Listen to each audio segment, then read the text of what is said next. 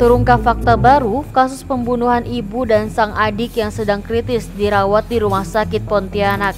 Seorang pria berusia 43 tahun berinisial DJ tega menghabisi nyawa ibu tirinya serta melukai sang adik di rumahnya sendiri Gang Anggrek, Jalan Sepakat 2, Kecamatan Pontianak Tenggara, Kota Pontianak pada Jumat 18 Desember 2021 malam.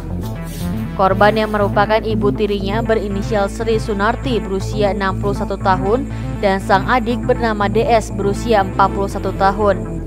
Dari peristiwa naas tersebut, korban DS mengalami luka yang cukup serius dan saat ini sedang dalam perawatan intensif dari pihak medis.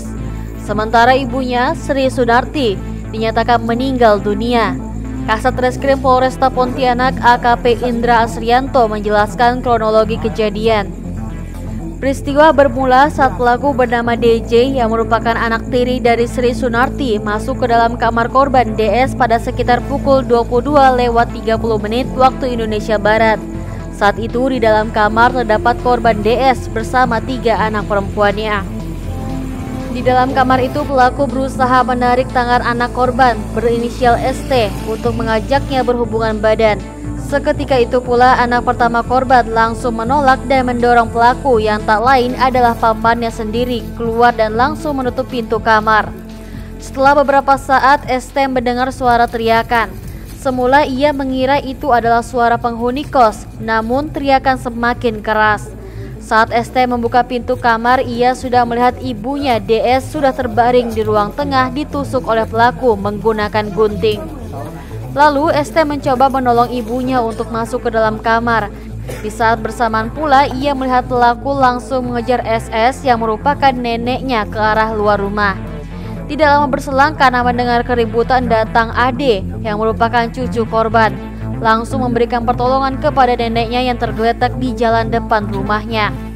Setelah itu mengetahui bahwa DJ yang melakukan semua ini ia bersama sejumlah warga lantas mencari pelaku dan berhasil mengamankannya.